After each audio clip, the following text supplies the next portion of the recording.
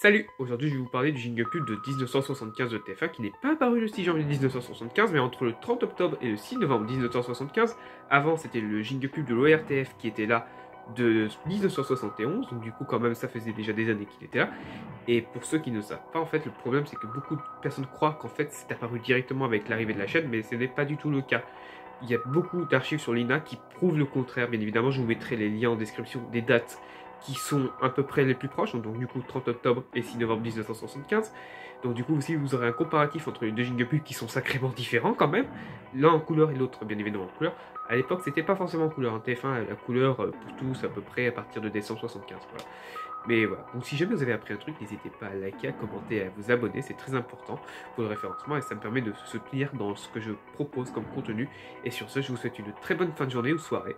A plus